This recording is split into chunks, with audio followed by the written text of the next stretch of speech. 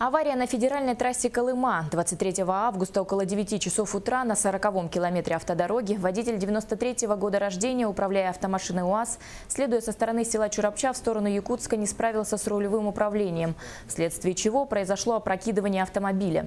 В результате ДТП 11 человек пострадали, среди которых трое несовершеннолетних. Все они были доставлены в центральную больницу поселка Майя. Как стало известно, водитель УАЗа официально нигде не работает, только за последний год сотрудниками ГАИ он шесть раз привлекался к ответственности, в том числе за нарушение правил перевозки пассажиров и эксплуатацию транспортного средства с техническими неисправностями.